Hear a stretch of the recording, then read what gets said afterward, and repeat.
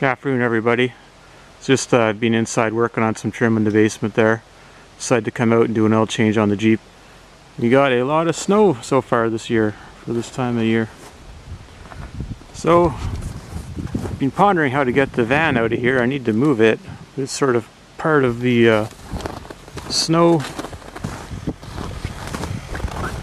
Dirt bike will be fine. It's meant to be beat up anyway table saws there. I can use that in the winter, I just need to let the belt warm up.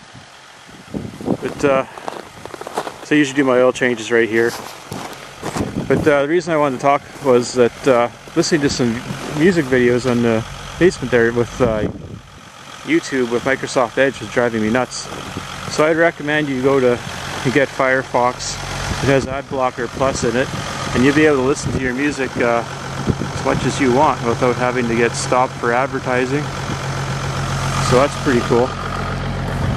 So I wasn't sure if I'd bother showing you how to do that on the computer. It seems pretty easy. So download Microsoft Firefox. There's my Hupmobile. I need to get that out somehow. Need to get that out in like two weeks. Not sure how we're going to do that yet. I think it's going to involve heavy equipment.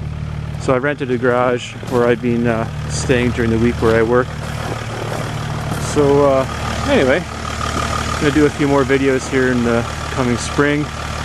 Trying to get my camera working again. I haven't had much luck with this camera as of late. Problems with batteries. Anyway, beautiful uh, day here, minus 10.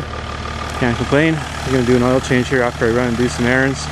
So yeah, I get Microsoft, or sorry, Firefox, which comes with ad blocker plus pre-installed.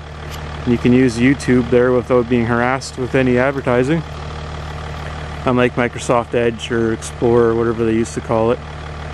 So uh, get that. Don't bother uh, signing in. There's really no need to do that unless you are uh, trying to create content. Otherwise, they probably just watch uh, your behavior. So anyway, have fun with that.